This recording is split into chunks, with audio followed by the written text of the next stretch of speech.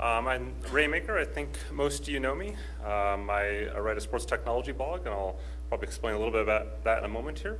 Um, I think it's my fourth time presenting here, so I'm, I'm pretty excited to be back again and, and talking to all of you, um, both here in front of the presentation as well as uh, just on the side and all the meetings that we've had over the last uh, couple days. So I think it's, it's probably fun to start with a bit of numbers. Um, $822 million a year. That's the rough purchasing influence of, of what I'm writing about. Um, that's, that's how much product people are, on average, buying each year after reading reviews on the blog. So you may wonder how I get to that number. Um, so over the last 12 months, as of yesterday morning, there was 4.1 million unique product review views on the blog. Um, that means that if you came and read one product review and you read four more, you only counted once, no matter how many times you came in that 12 month period. Um, so it's, I'm only counting you once, which means the, the numbers start to get a bit low. I'm only assuming that you bought a $200 product, or maybe you didn't. It's purchasing influence. Maybe you didn't buy a product. Um, of course, many of the products in this room are, are a lot more than that. Um, three to four hundred dollars is probably a bit safer estimate. Um, and then there's things like power meters and trainers that run up into the thousands of dollars. Uh, but that just gives you kind of a, a feel for, for what, what I'm writing about and, and how it might matter to, to you as companies. Um, and it also doesn't include um, things like RSS feeds or posts that may talk about your products that aren't technically what I call product review posts. So these are just posts that are pure in-depth product reviews um, and the total numbers from those posts alone. So who am I? So outside of that, um, so as most of you know, this isn't actually my day job. Um, so I have a, a, day job outside of this. I design data centers um, for a, a, large technology company. Um, so I, I, basically travel the world every single week. I'm in a different country, different continent. Um, you know, as, as Catherine joked uh, the other day, I, am kind of working almost 24/7. So you can probably catch me no matter what time zone you are. Um, and I'm, you know, outside of that, I'm, I'm like most other athletes, like most of you. I'm, I'm running, I'm swimming, I'm cycling. Um, you know, I, I, love to travel, I love to race, um, and I love to eat cupcakes. So um, my wife has a cupcake shop in, in Paris where we moved to last summer. Um, so even though my name is DC Rainmaker, the blog name, um, we actually now live in, in France and have done that since uh, last summer. So the, the blog started over six years ago now, um, almost exactly six years ago. Of course, most of you know from in-depth sports technology reviews, um, but in reality, I, I, write about a lot more than that. Um, on any given week, I may only do one review, um, if that, maybe once every uh, one or two weeks, just because of how long and complex they are. Um, so a lot of the other content is around just sports in general, um, and dirt sports in particular, um, but it's also about me and my life. I'll, I'll, include things like travel and, and where I run or where I ride or, or just anything at all that seems interesting to me, and that's kind of where it started out six years ago, like most personal blogs of, of athletes and that they're talking about their journey to a given race. Um, and I think that's one of the things that keeps it most interesting um, to, to new readers as well as uh, readers that have been there for, for multiple years. When I look at the numbers, and I do a survey every year, a, a reader survey, um, and you know, there's 30% of the people have read the blog more than two years, which is a long time in the internet world um, to have people there that long. Um, about 1.7 million page views a month is the average, about 800,000 of that is unique. Um, about 15,000 or so RSS subscribers. It's a little bit harder to measure that now without Google Reader anymore, um, but that's kind of a, a rough estimate. Um, 14,000 Twitter and Facebook followers both, um, and I continue to see growth every single month. Um, it's funny, I did that $822 million a year number um, back a month ago, just before CES, or just before, sorry, Interbike, and it was, you know, 10% lower than that, um, just over that preceding 12 months. So I continue to see um, growth every single month. Now, probably the most important thing to, to you in this room here is that um, how I make money. Um, and the reason that's important to you is because I want you to understand that um, I don't take advertising dollars from anyone in this room. Um, so uh, I, the blog is supported via two ways. One is affiliate links, which means that if you like a product and you go onto Amazon or some of the other partners that I have and, and buy through those companies, um, then you can support the blog that way. But I don't personally care whether you buy product X or product Y, it doesn't matter to me, um, or if you don't buy anything at all. And then I have Google AdSense for ads, um, which means, as I kind of explained yesterday to a smaller group, you know, if you're looking for laundry machines, you're going to see laundry machine ads, and if you're looking for lingerie, you're going to see lingerie ads. Um, I don't really control that. If I, if I find sports technology products that are in those ads, um, I actually proactively block them. So I just, I don't want your advertising dollars, and it's as simple as that. Um, so who are, who are the readers? Where do they come from? Um, about 48% is from the US and Canada, 40% uh, in Europe, um, and the remainder around the world, but high concentrations in Australia, New Zealand, um, as well as South Africa. Um, obviously, English speaking um, languages kind of dominate there quite a bit, um, but I really have readers everywhere. I mean, down South America, Brazil, a lot of readers there. Really, everywhere except China for the most part because I'm blocked in China. So I get I get a lot of readers from just about everywhere which is the challenge, by the way, when you travel to China to write um, and get to the blog. So, um, who is the reader, though, from a, a demographic standpoint? Um, you know, I get uh, the wide range of folks. Um, I get people who wouldn't know which way to install heart rate strap on themselves. Um, I mean, literally, I, I, have requests on how to best, you know, hook up a heart rate strap on someone, um, all the way to people with PhDs on heart rate technology. it's literally that entire gamut of, of people. Um, you know, from a, a skill set standpoint, there are Olympic, Olympic medalists, um, gold medalists, there are uh, professional athletes, um, and then there's folks that are just trying to lose weight, um, that don't know anything about sports technology. Um, they can't run 1K, um, let alone run, you know, 140 miles or you know, anything like that. and they're just trying to understand how to use this technology to make themselves healthier. Um, outside of you know sports people, um, I'm followed by a lot of financial analysts. I talk with a lot of financial analysts. Um, I have conference calls with companies that are doing industry research um, that are looking to invest. Um, I talk with those folks and give them kind of my perception of the industry, and you'll see a lot of that over the next uh, hour or so. Um, mainstream media publications, so that's you know Washington Post, The Guardian, big, big um, mainstream publications, and then of course technology publications like Engadget, Gizmodo, TechCrunch, et cetera, um, and then finally sports publications. So Runner's World, Bicycling, all that kind of crowd um, are following what I'm, what I'm writing about here.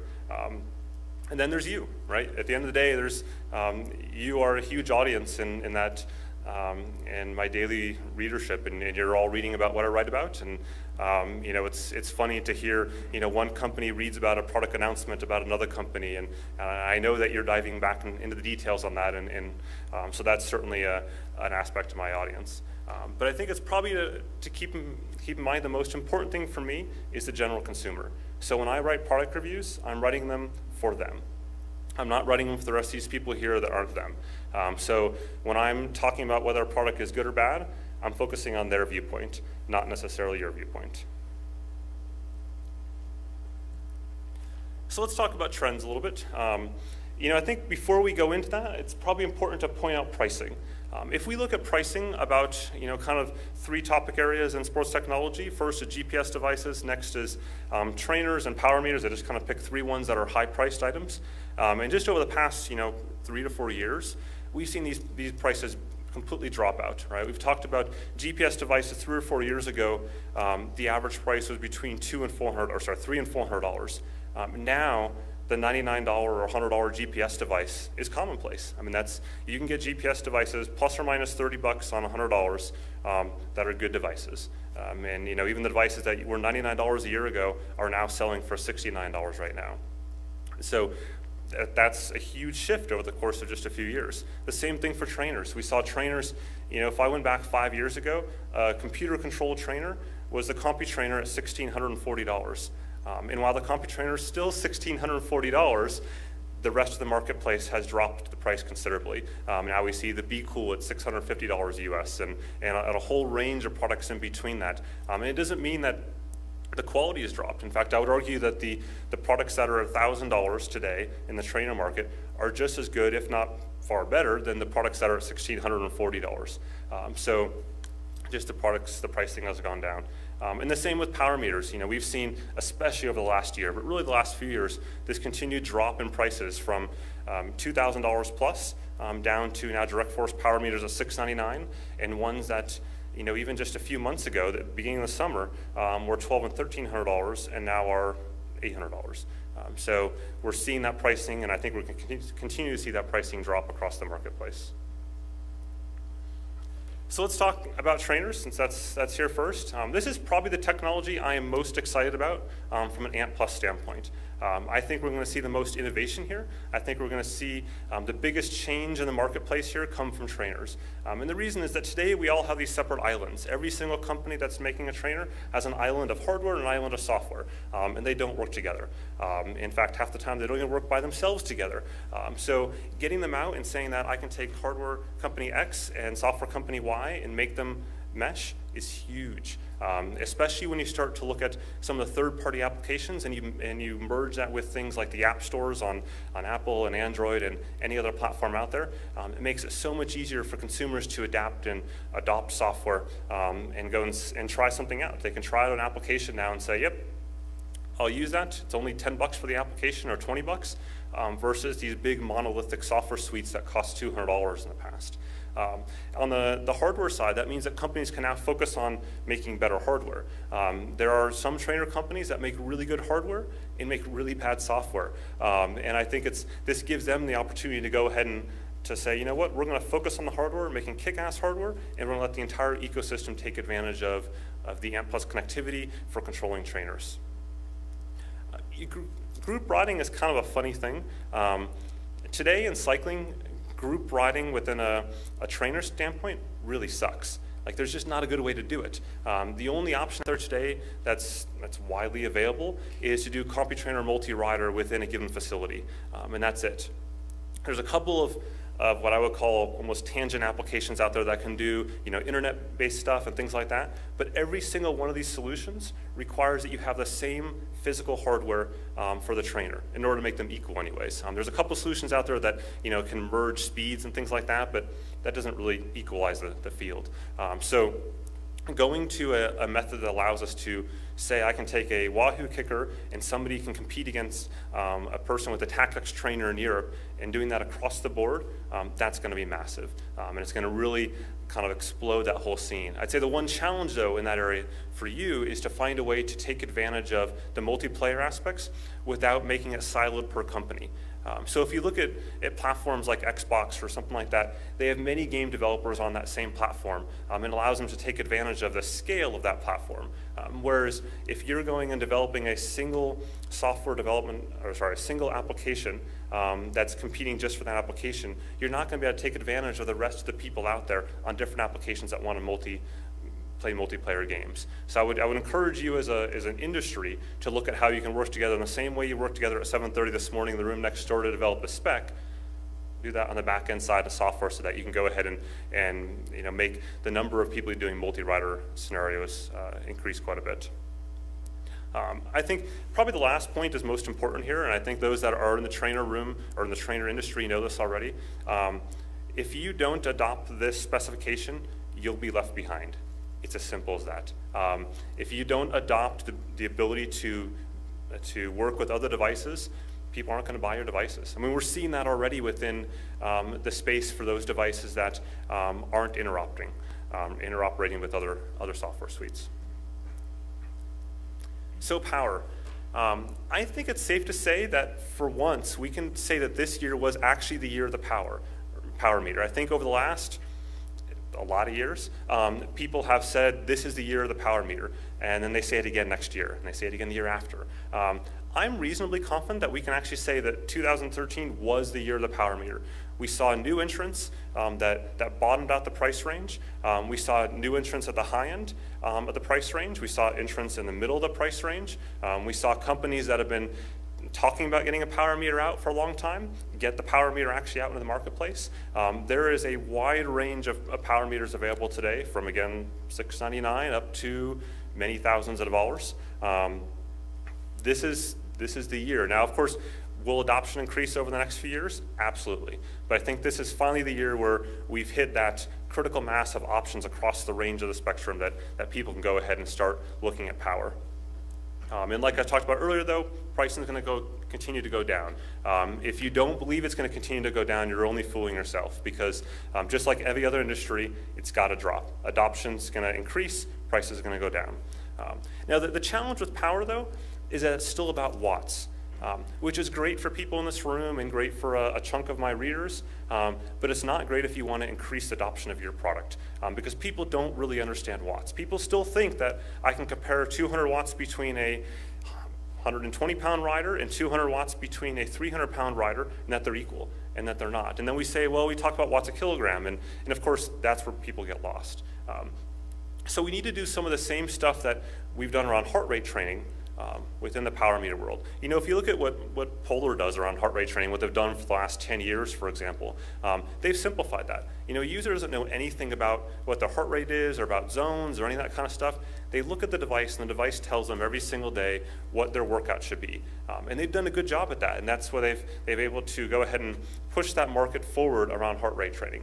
I think that same sort of thing needs to happen around power. It needs to be easier for folks to understand, and they need how to, how to train by it as well. Um, it shouldn't just be going out and, and getting the biggest power number on a given, given ride every single day. I think there's still a lot of potential, though, for, for high-end use cases out there that aren't solved yet. You know, I know a lot of those were talked about yesterday in the, the Power Meter Technical Working Group. Um, I think it's important that those those ideas that were talked about there move forward, even if the how we're using it or what we're doing with it use cases aren't solved yet, uh, meaning that high-speed data is a good example of that. Um, there's a lot of talk around, you know, what can we do with high-speed data and power? Um, and, and yeah, there are some use cases that are small, um, but I think we'll find that over time, if we enable those use cases technically, then, then the smart people, the scientists of the world, can go ahead and take advantage of those use cases and do something with that data and tell us how to train by it better.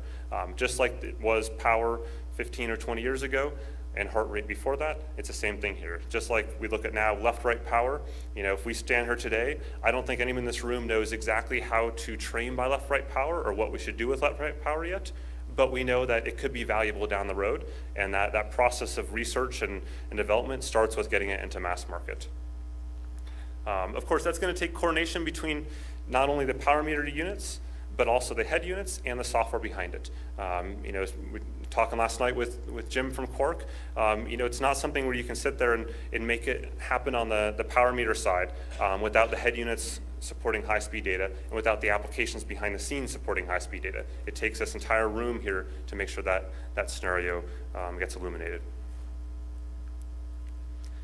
So activity trackers. Um, the activity tracker market is is massive in potential. Um, you only had to walk through CES this past year to see that. If you if you walked into the kind of the health and fitness pavilion, I think about half the companies there were were hawking some sort of activity tracker, um, something that you can clip on somewhere or you could do something with. Um, huge potential there. Huge potential with gamification. Um, the reality is, you know, we saw the, the gamification slides yesterday.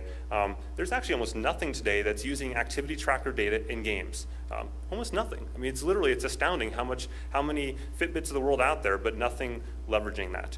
Um, you know, let's talk about what they do well. Um, I, I think the, the biggest thing is that the Fitbits of the world just work right? We, we look at some of the sports technology products out there today and they're complex, they're hard to, hard to use. Um, Fitbits just work, and they even tell you hello, as pointed out this morning by Rick, right? They smile at you too. Um, a lot of other products are more complex. Um, the apps are really well done. I've got to hand it to the, that activity tracker industry. They managed to make really pretty apps. Every single one of the apps, you look at Nike Fuel, you look at Fitbit, you look at Withings, all those apps are beautifully designed apps, um, which attracts the user to using them. If you have an ugly app, the user will use it less. It's really as simple as that. Um, and there's a multitude of form factors out there today. If you like wrist-based trackers, there's wrist-based ones. There's waist-based ones. There's all sorts of ones. Ones that are coming up for your, your ankle as well. I mean, it's, there's lots of options there. Um, what isn't done so well? Let me show you what isn't done so well. So Tuesday morning, I flew out here. It was probably four in the morning, and I needed to wash some clothes, do some laundry. So I threw my jeans into the laundry machine at four in the morning, which was probably the biggest mistake there was.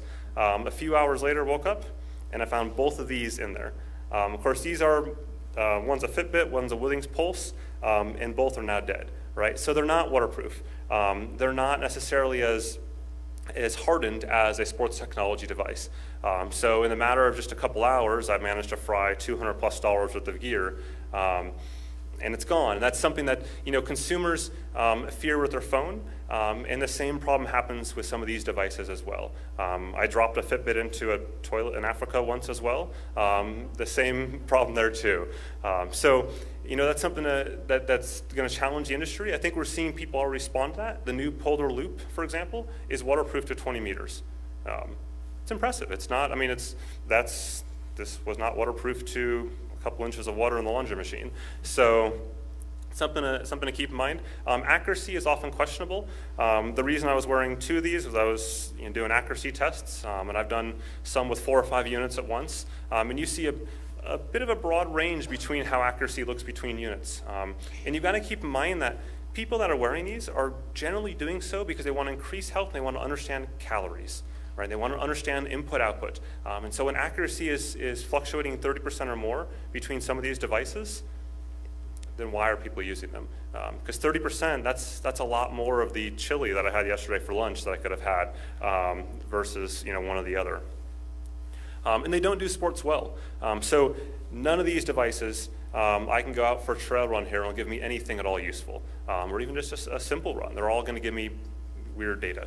Um, another area where, oddly enough, the, the polar loop is interesting there because it's actually the first device that bridges into the heart rate strap and says, okay, this is an activity tracker 23 hours a day, and then the one hour a day where I go out and do something that's fitness based, I can now pair to heart rate strap and get calorie, um, heart rate driven calorie data. Um, so that's an interesting way that they've kind of twisted that paradigm a bit. Um, of course, it's, it's beyond just some of these dedicated um, activity trackers. It's also looking at some of the ones that um, have done that in the past. I think most of us in the room would, would look at something like the MOTOACTV, Motorola MOTOACTV that came out two and a half so years ago, um, and say that was well ahead of its time in, in so many ways. Um, and of course, the, the unit's now been discontinued and the team basically disbanded. Uh, disbanded. Um, but that, that device did activity trackers, but also could be used as a power meter. Um, and literally uh, across the board, pardon me, head unit, literally across the board, it could do day-to-day stair steps, it could do yoga, it could do all these sort of things. Those are kind of some of the devices that people are looking for to be able to bridge those gaps, especially on the athletic side. Especially if you're selling to somebody that's already got a $300 GPS device, they want something that can maybe bridge that gap a little bit better. Now the challenge though with all these devices is the phone. We talk about things like um, the iPhone 5S having the coprocessor in there to be able to do motion tracking in the background. We saw yesterday with the Samsung um, health application to be able to do steps. Um, and, and of course, tracking steps in a phone is, is nothing new. It's something that folks have been doing now for a, couple years. Um, but as phones get um, you know, if processors allow that to happen without having a battery drain, um, that's going to make these sort of devices less and less appealing. Um, because people are with their phones almost 24 hours a day. I mean, outside of sleeping, your phone is generally on you the entire day.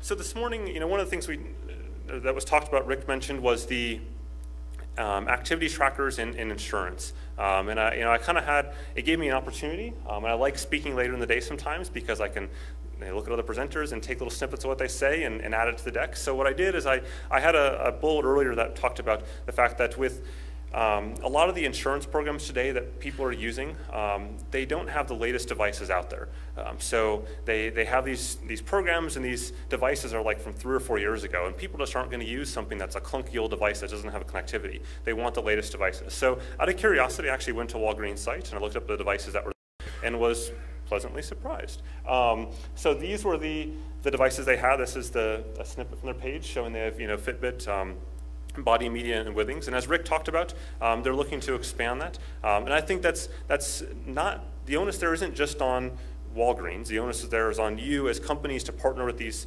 companies and provide more and more options. Um, so while this is a good starting point, um, this is a fraction of the potential there. Um, you'll notice there are no endurance sports products on here. There are no um, products beyond you know, these three, there's, you're missing things like Nike and um, a lot of other companies out there. Um, so I'd like to see more partnerships there where um, companies are providing health-based incentives um, for insurance programs and things like that to get a broader range of applications and devices.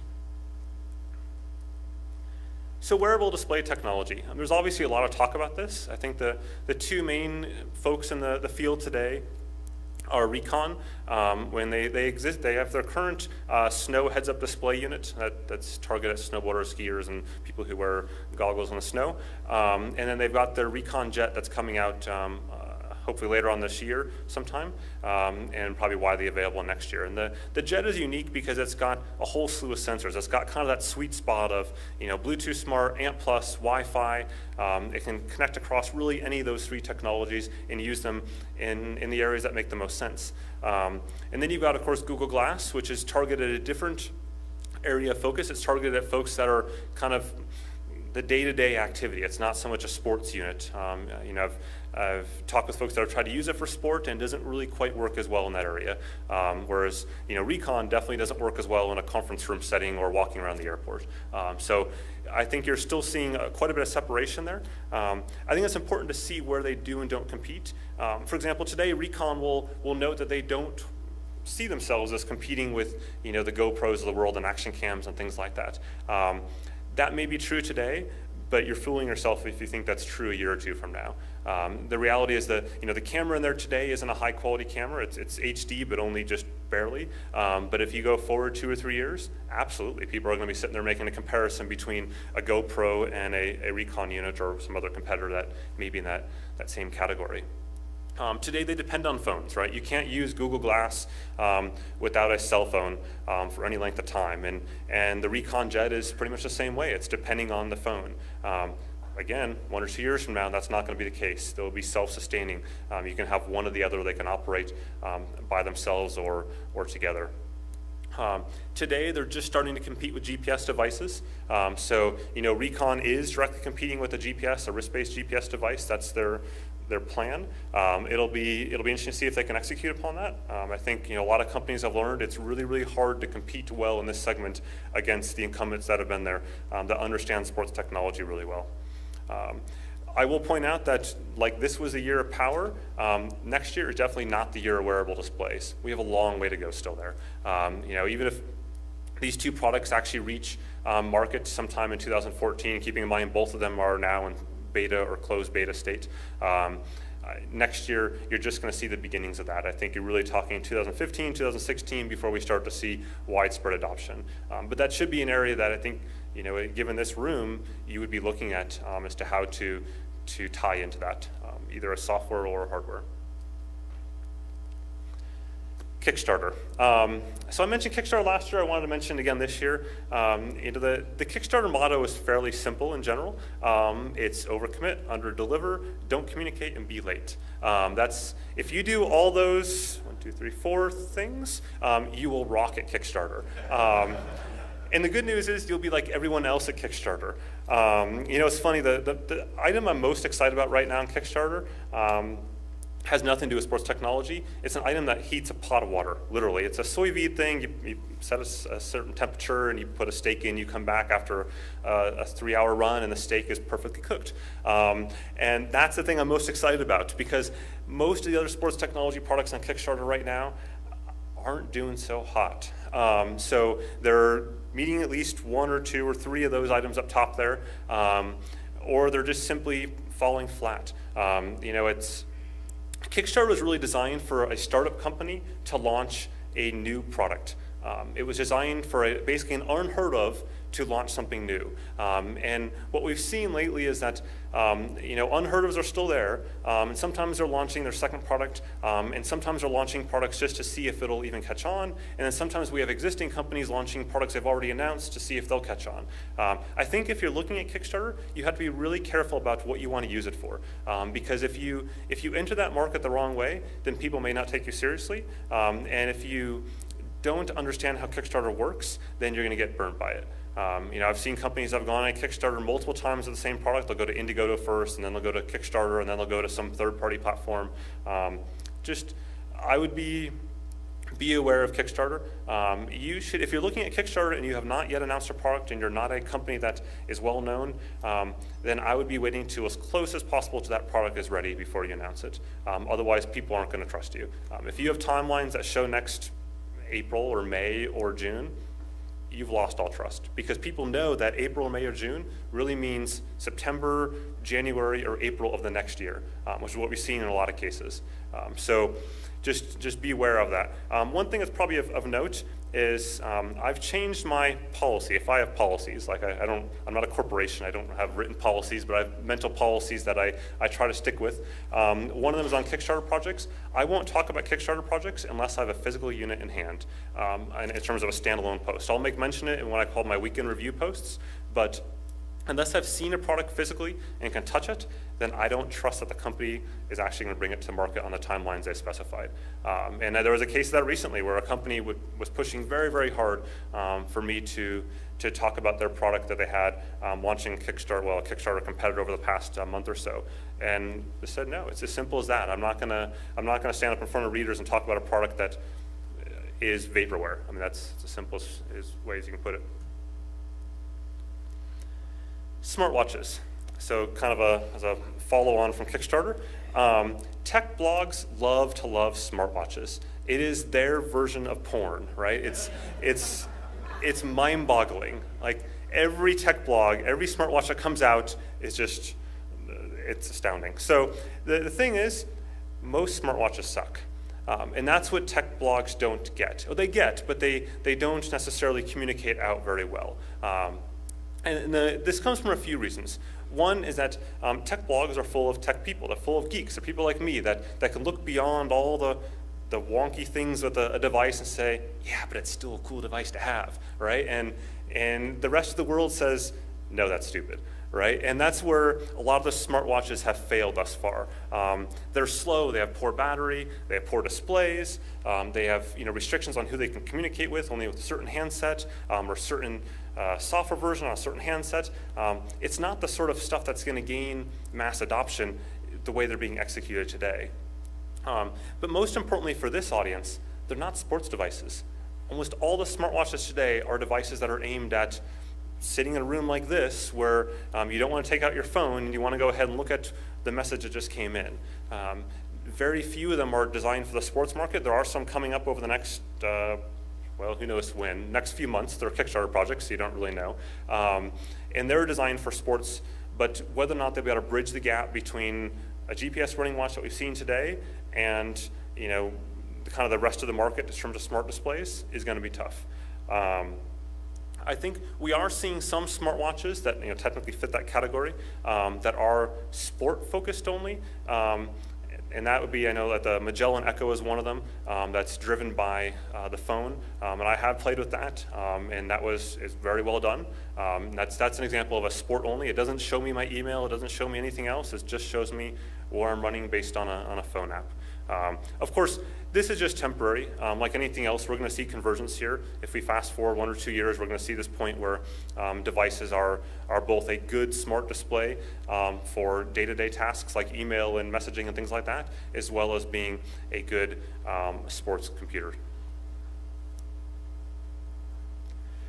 So this is kind of an interesting area um, that I'm, I'm seeing a lot of uptick in, which is subscription services and on-demand feature payments. Um, so with the, the advent of the mobile app stores, things like Apple and Google, um, people are trusting these platforms. People um, know that they're easy to use. Um, they can go ahead and they can press a single button on their phone. They don't have to pull their credit card out. They don't have to give their, their personal information to some third-party site. And they're able to go ahead and do recurring payments for things. And we're seeing this pick up the most, actually, the trainer space right now, um, where apps are being developed for trainers and, and people can go ahead and do subscriptions for you know, three months, six months, et cetera. And then we're also seeing it um, in some of the other kind of peripheral um, areas of that as well, where people are developing apps and they want to go ahead and leverage um, these technologies. Um, I think this is an area that we can see more expansion of. Um, there's a lot of demand for people to, to, buy features on some of the, the devices you make today. Um, leveraging that to be able to go on demand and say, I want to pay 20 bucks extra for this feature um, is something that consumers are comfortable with. Um, and if you can implement that technologically where you allow somebody to update their, their device um, through one of these, these app stores, um, I think that's a way you can go ahead and justify um, some of your existing uh, development efforts. So action cameras, um, you know, up until the last year or so, maybe less than that, um, it's been focused just on recording plain video. So it's just, you know, you sit there, you get a simple uh, video file of some format out, um, and that's it. What we've seen over the past year with, um, for example, the Contour GPS and, and, some of the other devices um, now coming on the market over the last month is adding additional metrics. Um, so like the VIRB, for example, adding in ANT plus data. Um, but we've seen also now, you know, GPS, altimeter, heart rate, speed, G-force, um, cadence, and, and that's only going to continue to expand as, as people think of more ways to capture metrics during a given activity. I think there's, there's a lot of potential here for this market when you start combining those action cameras with some of the trainer pieces that I talked about earlier. Um, so right now you can do that. Um, but if you look at the, the process to do that, it's a nightmare. And you wonder nobody, why nobody does. Um, so right now, you've got to go out and record a video. Um, so you've got to go out, go for a ride and you know, run through 13 elk on the way back down again and, and come back and have your video. Then you transfer that via USB to your computer. You take it on your computer and you have to process that video using some sort of tool to either merge it or make it viable to upload somewhere else. Um, you upload it to this cloud service as part of one of these, these trainer software companies. Um, then, of course, you actually turn right around, back around and download from the cloud service because that's how you get the video onto your trainer. Um, and then you finally ride on the trainer. Why can't we shortcut that process? Why can't we find a way to go ahead and have these cameras start talking to that same trainer software and just replay that onto a device? Um, and there's some technology challenges there, no doubt, um, but all technology that you can handle in this room today. Um, this isn't beyond the scope of what we can do. It's just a matter of streamlining this process to make it more viable for folks to ride these videos um, and re recreate their experiences. Um, and like the other categories, we're on the verge of a price drop here. Um, we've seen a lot of new entrants over the past uh, month and a half, um, and we're going to see a whole bunch more at CES. Um, and we're going to see this, this, field continue to get more and more crowded. Um, and of course, the big brands will be able to hold prices for a while, um, but then just like every other market that I talked about earlier, those brands will eventually um, see those prices drop to be able to compete with the newer brands. So Bluetooth and ANT Plus, um, you didn't think I was going to like skip this at some point. Um, so, you know, it was funny in sports. I think a lot of people outside this room and outside, you know, some of the industry um, believe it's an either-or thing. Um, and I talked about last year, it's both. Um, I think what we're really seeing, especially in the devices of the last few weeks, is more of a convergence in some ways. Um, we're seeing devices using the technologies for the areas that make the most sense. Um, so using um, you know, each protocol um, in a way that, that makes most sense and combining with other protocols. For example, combining with Wi-Fi um, to connect to the internet um, as opposed to just saying it has to be either or. Um, I think we've seen pretty clearly over the last two months, um, uh, you know, an example of a company that chose a given a given uh, platform and the response that consumers have had um, in that company choosing that platform and not taking advantage of the platform. Um, so if you look at TomTom, for example, they, they went with Bluetooth Smart only for their, their runner and multi-sport watches. Um, and you know those watches compete well at that $200, $250 price range. Um, but the challenge with choosing only Bluetooth Smart wasn't that um, they just focused on that one technology. It's that they didn't actually leverage the technology. Um, so in their case, they're just using it for sensors, but they're not using it to connect to the phone. Um, so that somewhat calls into question the entire reason for using that. So if you look at um, you know, consumers out there that are looking to switch brands uh, from an ANT Plus device to their, that device, that loses the appeal. They have to buy their accessories, but they don't get anything to gain by it. They don't get the connectivity of the phone. They don't get connectivity out to the internet that people want. Um, so when you look at protocols, use them for the right ways. Use them um, the ways that make the most sense. Uh, I think long-term chipsets will solve some of these problems. Um, I think you know some of the, the, dual mode chipsets that we saw the last two days um, will solve a lot of these problems and, and continue that um, convergence between the, the two platforms. Um, in the meantime, we're seeing companies do creative things to solve that problem. Um, you know, PowerTap has replaceable caps um, where instead of having to buy a $1,000 plus power meter again because it switched from ANT Plus to Bluetooth Smart, um, they just pop out a $119 cap. Um, that's it. And You can go back and forth between the two. Um, that's consumer friendly. That's what consumers want. They want the assurance that um, they can easily go between the two technologies. Um, bridging through products like Viiiiva and Reflect Plus um, are good examples of that. And then Stages Power, which is simply dual transmitting. You can go, you can do both. You can do ANT Plus, you can do Bluetooth Smart. It happens concurrently at the same time, and, and life is simple. It's just it's what consumers want. They don't want to be um, caught into either one, either technology. so some of you saw, well, I should back up. So last Thursday, I was flying to, to Frankfurt on the flight, and it was like 10 o'clock at night, and I'm sitting there going, what am I going to post for tomorrow? And I went into my, and I was tired and exhausted, and I went into my, my drafts, and I found this old post I started writing way back in August. Um, based on conversations I had with many people at Eurobike around um, connectivity. Um, and it was sort of one of those moments I was excited because one, I realized I had the, the convention this week and I can get data that would be useful for my slides, and two, it was a 10 minute post, which means I could be done and, and ready to post and not have to write another hour or two of stuff. Um, and the, the survey was simple. It's, it asked three basic questions. Um, it talked about, do you use two or more devices? Um, and if so, do you use them at the same time? Um, and the point of that was to understand were folks using ANT plus sensors to dual devices, dual display at the same time, um, because you can't do that today with Bluetooth Smart. You can't go ahead and have a ANT or a Bluetooth Smart heart rate strap and have it go to the phone and have it go to a secondary display device. Um, and you know, there's been a lot, a lot of discussion in this room and in other places around is that a problem? Is that not a problem? And and I think, at least myself, I saw it as a fairly small problem. I, I truly did. I didn't think it was a, a problem that warranted 29% of the marketplace. I thought it was, you know, the use case was a handful of people. Um, what I found out was actually the complete opposite. Um, so 3,056 people responded as of last night when I um, put the slide in here, um, in just the last four days or so. 29% um, of those are using dual device at the same time. Um, so a lot of those are basically having a, a wrist strap on and they've got um, some other device, whether that's a, a gym device, it could be a, a biking computer, it could be something else, some other device that's reading that ANT plus data, or it could be reading, I, I, mentioned also, you know, it could be some uh, polar analog data or something else there, wind data, uh, but they're doing two devices at once. That's a, that's a big number. That's 30% of your market right there, um, doing two devices at once um, with, with uh, sensor data.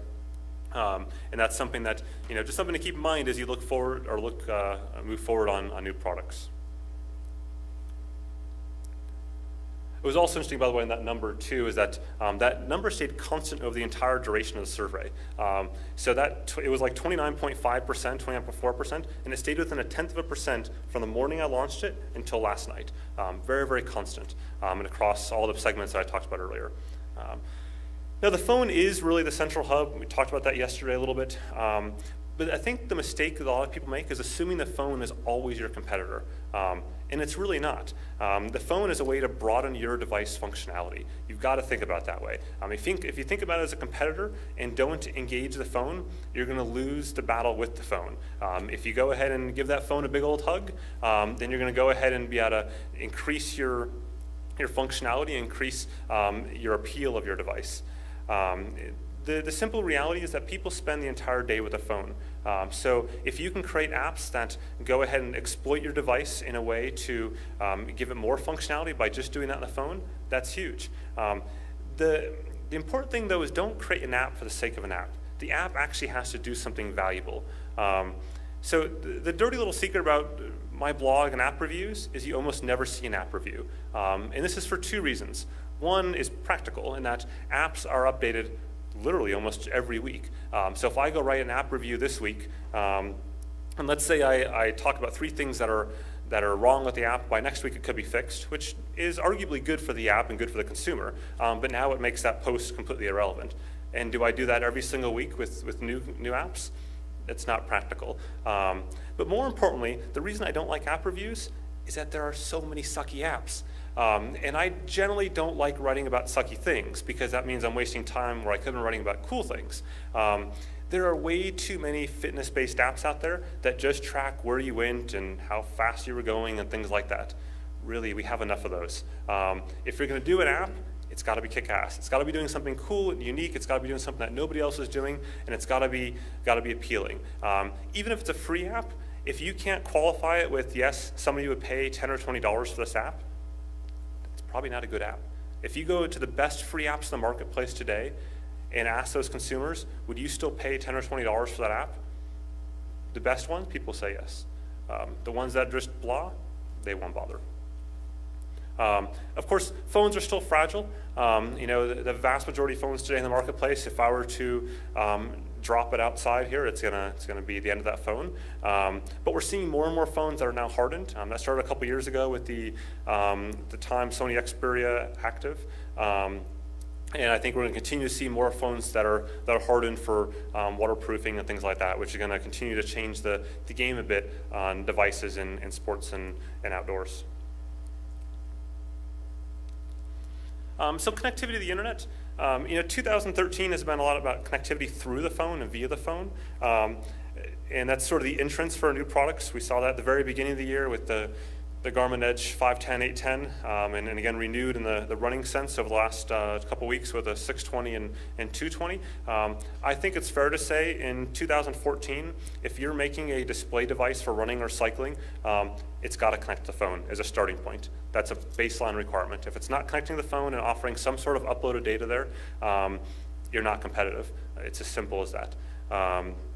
I think, though, that soon in the future, 2014, late 2014, 2015, um, connectivity via the phone won't be the only requirement anymore. It's going to be, I mean, there's already devices out there today that are, that are in the, the process of, of being publicly available um, that have that sort of connectivity straight to cellular networks. Um, that's where people want, especially the outdoors people, uh, want that connectivity direct from device. Just like we're going to see it in wearable displays, we're going to see it in other areas. It's short-circuiting that process. Um, and of course, you know, there's a lot of potential here um, with, with connected devices. We have competition and gamification, which are different things, by the way. Um, I, you know, we've seen a lot about gamification over the past few days. Competition is more around um, the Strava world, um, though Strava doesn't like competition in terms of that word from a legal standpoint, um, but that's what it is. That's, that's the reality of the situation. It's competition. It's people competing against other people, um, no matter how much lawyers want to tell us otherwise. Um, so those are two areas that can be taken advantage of. Um, if you look at gamification in the sports technology world today, there's zero. There's no legit gamification. Um, gamification, um, again, to, to talk what Jim and I were talking about last night, is not um, somebody sitting there in front of a, a, video replaying of a given ride on Alpe d'Huez. That's not gamification.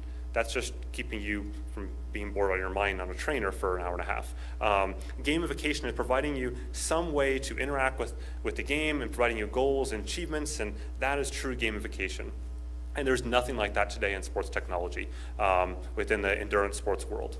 Um, and of course, with connectivity comes ability to purchase add-ons. It comes ability for you to, to potentially upsell and, and increase your revenue. Um, and it comes with the ability to integrate with third-party platforms. Um, and I'm going to talk about third-party here in just a second.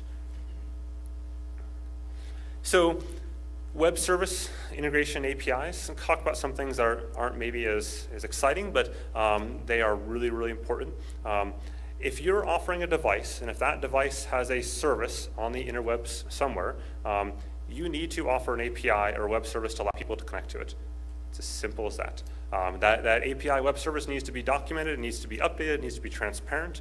Um, and I simply will not recommend devices that don't have that. Um, I also won't take an IOU for it either.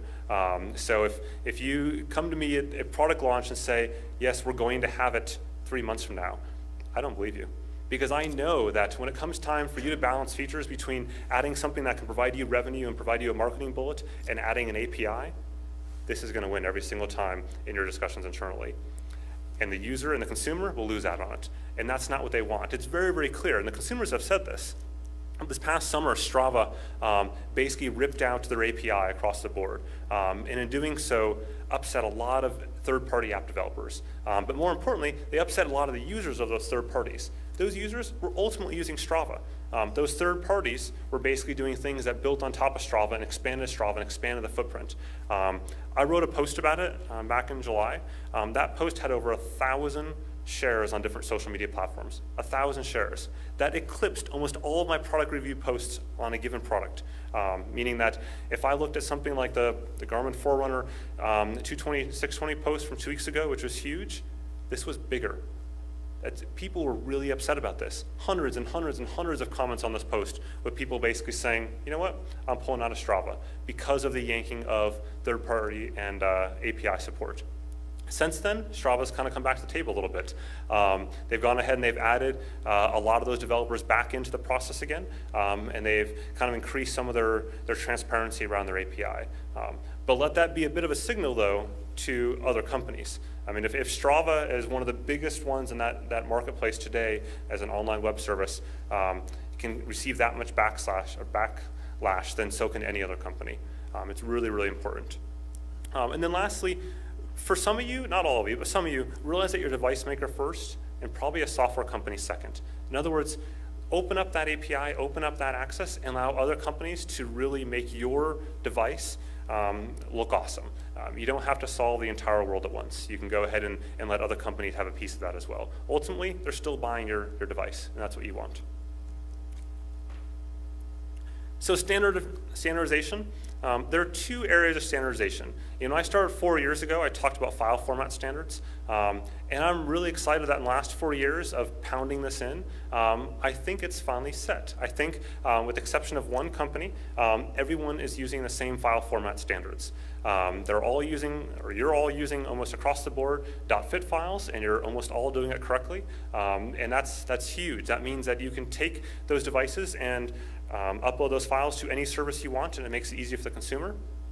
Um, connectivity standards, uh, that scenario still got some work to do on. Um, you know, I, some of you may have read some of my Interbike posts. Um, there was a company there that did some stuff via Private Ant.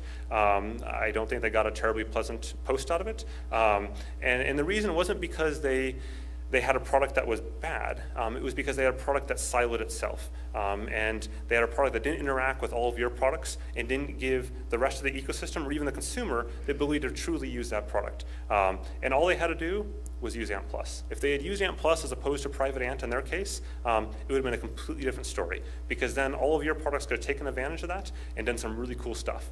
Instead, it's this little tiny island unto itself. So, three rules of standardizations. I don't care about your excuses. Meaning, if you come to me and say that, well, we're going to support fit, or we're going to do this, or we're going to do that, or we can't do it yet because it doesn't matter. It doesn't matter. I look at some of the products that have gone out without the support, and people have blatantly said on the comments, until this is there, I'm not buying it. It's as simple as that. Um, so you have to have the right file format standards out there from the get-go. And as I said, consumers don't care about your excuses. They don't care about whatever internal you know, excuse you have for the reason why you can't support a file format standard, it's got to be .fit. Um, and of course, refer to numbers rules number one and two if you have any questions at all. Um, one important thing to note on um, CSV files in Excel, that's not a standard. That is a file format, it's not a standard. And the reason that's important to understand is that if you export out in CSV, that doesn't give anybody anything. That just gives them raw data. I can't upload a random CSV from your company to Strava. I can't upload it to Training Peaks. I can't upload it to any other service out there because those services don't understand how to use your data. So you have to write it in something that they understand. They understand fit. They understand .tcx. They don't understand a random CSV file unless it's written in a format that mirrors some other company, in which case you might as well just do fit. So Last year, I had four products up there that I talked about that excited me for the upcoming year. Um, I figured I'd just recap where those were and where they've gone over the last year. Um, the Wahoo KICKR was on the list. Um, I think it's fair to say the Wahoo KICKR has done pretty well. Um, I think it's fair to say they've changed the, the industry within the, the trainer world. Um, I don't think there's any doubts about that. Um, next was the, the Viiiiva heart rate strap. Um, I think we've seen a lot of interesting things down there. I think we've seen a lot of consumers excited about it. Um, I think over the last, you know, especially the last three or four months, we've seen a bit of pickup there. Um, I think there's still ways to go in terms of how that, that product could be leveraged. Um, but I think that's, that's definitely changed the market in some areas over the past year. Um, the Wahoo Reflect was on the list. Um, I would say this one hasn't necessarily done as well as the KICKR in terms of um, how it's potentially changing the industry. I think it may be um, a bit soon for that product um, in terms of getting apps to, to adopt it. Um, I think the longer term, I think with Reflect Plus, for example, um, kind of adding in the things that people are looking for in terms of ANT Plus and barometric altimeter, that could kind of shift that landscape a bit. But I mean, like I said earlier with smart displays, the Reflect was a smart display. That's still going to be definitely a hot area going forward. In the Stages power meter, um, that's the 699 direct force power meter. No doubt that changed things in the power meter world over the last year. Um, it got off to a really rocky start, but they fixed some stuff by summer or so. Um, and as a result, I think we saw um, some pretty significant pricing changes coming from PowerTap and, and others uh, because of that. So I think it's fair to say that made a big, big impact on things. Looking forward to next year, Here are five things that I think are really interesting to watch. Um, First one is the SRM PC8. This may actually surprise some folks as to why this is on here. Um, knowing me, I think the, the reason this is exciting to me is because it has ANT Plus, it has Bluetooth Smart, it has Wi-Fi. Um, in talking with the team, they've really sat down and talked through some of the scenarios, talked through not only normal consumer scenarios, but team scenarios, the Tour de France. Um, they've leveraged technologies in the right way. Um, they said, you know what, we're going to connect to eight SRM um, bike computers in a, next to a tour bus um, via Wi-Fi first. If Wi-Fi is not available, we'll try Bluetooth Smart. Um, and they've, they've kind of thought through these scenarios. Now, it's still a long way. The, the release is not until next spring sometime. Um, but if they can execute on what they've talked about, um, I think this could be a really interesting product, um, albeit at a very, very high price point. Still a very, very interesting product. Um, ANT Plus trainer profile, I talked about that quite a bit earlier on. That's going to be a huge thing next year. Um, Recon Jet, I also talked about earlier on. I think that's going to be very interesting to watch. Um, the, the Garmin Forerunner 620 with the running dynamics, um, I think this could be an interesting area to watch because running dynamics are, it's a, a topic that people don't really know anything about yet. Um, so I think it could be fascinating to see what that data looks like over the next you know, couple years as people start to use it. Um, so I see that as starting a bit of a, a trend there. That said, there are other companies that are looking to do running dynamic-like things, and I would like to see that there be um, standards there and basically an ANT Plus profile used so that it's um, common across the board. I think that's beneficial to not only Garmin, but I think it's beneficial to the entire industry um, if you're using standards, just like every other device profile out there. Um, and then lastly, um, Moxy. I think Moxy is sort of like the running dynamics. We don't quite know yet how we're going to use all this data in training and racing, but the potential there is fascinating. Um, and that's, you know, it's all got to start somewhere, um, and I'd be interested in seeing how this does over the next year. So outside of those products, there are four areas that I'm kind of watching for 2014. Um, number one is wrist-based heart rate monitoring. We saw that in the presentation right before this. Um, I think, you know, I don't think next year will be the year of wrist-based heart rate monitoring. I think it's probably another year or two away. Um, we've had some products on the market today um, that are that are good products, but they they the problem is they're on both sides of that gap. You have one product that's that's very good in sports and fitness, um, but it doesn't have necessarily all the features of a typical uh, GPS watch. Um, and then you have another product that's very good for the other 23 hours of the day, um, but it can't run 100 meters down the street without having bad data. Um, so we've got to see more convergence in those two, um, and that's where I think there's some fascinating stuff that could happen over the next year or so. Um, more gamification that I talked about earlier. Um, I think we'll see greater use of accelerometers. We're already seeing that over the past year. Um, accelerometers are just the beginning of things, whether they're to do error correction or they're to do um, recognition of calories and activities and things like that. Um, that's a ton of potential still there. Um, and then finally, better use of connectivity. Um, you know, there's obviously a lot of scenarios there for connecting from the device to the internet. biggest challenges here in this segment is just got to work. It's that the just work factor has to increase. Um, it's really good. It's gotten really good over the last year, um, but it still has a little ways to go for some devices that just got to work. Um, pricing to compete with mobile in the areas that you do compete. Um, there's the reality of that, um, so that's something to, to keep in mind. Um, user interface. A lot of the sports and fitness devices today look a little 1980s, and that turns off some users. Um, I think the same is true when you look at some of the apps out there, especially on the Android side. Um, I would say the Android apps in sports and fitness lag significantly behind the iPhone apps from a UI standpoint. Um, that's something that's got to be addressed. Um, standardization in the areas that I've talked about earlier, and then integration across platforms. Um, people want integration. It's as simple as that. They want to buy your device, they want to use it with Training Peaks, Strava, Daily Mile, or whatever service they want. Enable that to happen. What consumers want from you? Number one, timely updates. Um, they want updates on a regular release cadence. We saw Suunto do this um, over the past couple years. Um, they didn't give away their entire roadmap. Um, they just talked about the things they were, up, they were going to update. Um, willingness to take feedback, whether that's feedback on features that you're missing or feedback on um, our bugs going ahead and getting those addressed. Um, and if those things are public, then go ahead and say, yeah, we're going to go and fix these, we're going to make these happen. That's what consumers are looking for. They just want communication. They just want to know when something's going to get fixed, um, and, or even if it's going to get fixed. Um, that's, that's the biggest thing. And then, of course, answering questions through your various forums. If you have, or forums or social media channels, if you have forums, you should probably visit those forums. Um, you should probably answer questions in your own forums. Um, and the same is true on Twitter and Facebook. If you have Twitter and Facebook, um, accounts and you're broadcasting out something there, you should also respond to questions there as well um, as best as possible. So I always get questions on kind of ways to work with me. I'm just going to do two quick slides to explain this um, on, on, types of reviews I do.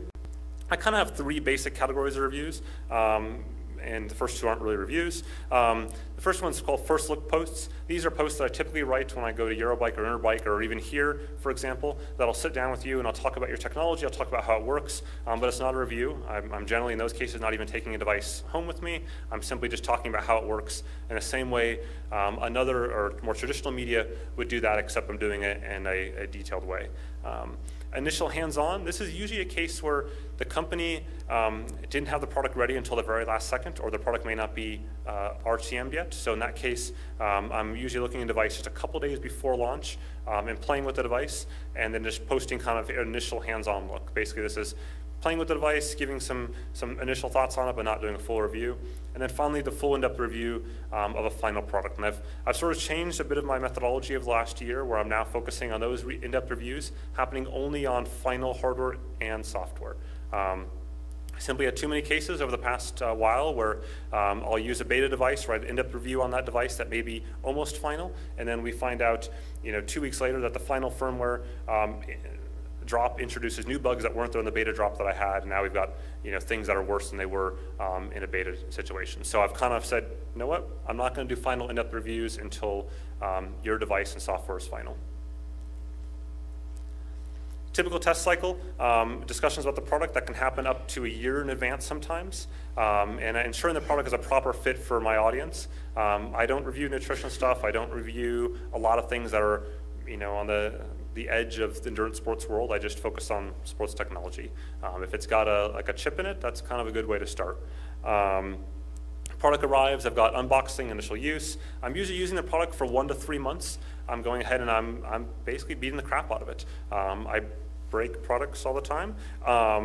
Um, and that's just that's the way it works. I'm treating it like a consumer would, um, and I'm working with you behind the scenes to understand how the product works. I'm answering questions about it or asking you questions about it. Uh, my goal is to understand the product end to end and include a very accurate post. Um, those of you that have had reviews know that the morning of the review, I always send a follow-up email that simply says, if there's anything technically inaccurate about the post, please let me know and I'll correct it immediately. Uh, my goal is to have the most accurate post out there with the most information. It's as simple as that. Um, and then finally, publication, um, uh, post-publish, um, and then that, when that, once that happens, obviously people ask questions. Um, you know, recent posts had 400 questions and comments on the first day alone. Um, so my goal is to answer those questions as best as possible. Um, and some of them I'll have to go back to you as a company. Um, and then some companies actually are active in, in the, my product review posts. So within the ANT Plus crowd, that includes uh, Wahoo, Four Eyes, CycleOps, uh, Kinomap, I'm sure I'm missing many more, I apologize, um, that are very, very active. Uh, BKOOL. Um, and, and respond to questions on my post itself, and I love that. The consumers love that because it shows engagement, it shows people can get detailed answers they probably couldn't get through a marketing channel somewhere else. So with that, the, the three methods that I use are one, I do NDA discussions with people. So if you have uh, products that you are not willing to publicly talk about, I'm happy to talk about them under NDA. Um, I am happy to do products launched or product announcements to your product launches that are timed to that. And then finally, I, I, do reviews that are after the product is launched. So if you've already launched something and you want me to review it, then we can talk about that. Understand though that in the grand scheme of the totem pole, um, that's relatively low compared to things that have finite dates on them. Um, so just keep that in mind.